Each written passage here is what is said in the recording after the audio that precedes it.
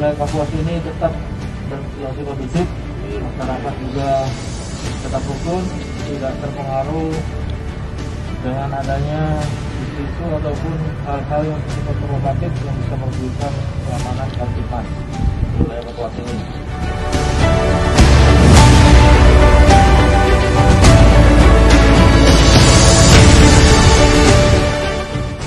uh, situasi uh, Kamtipmas yang kondusif ya kita ciptakan uh, dengan rangkaian-rangkaian seperti ini. Jadi sehingga uh, kebersamaan dengan instansi lain pun uh, terjalin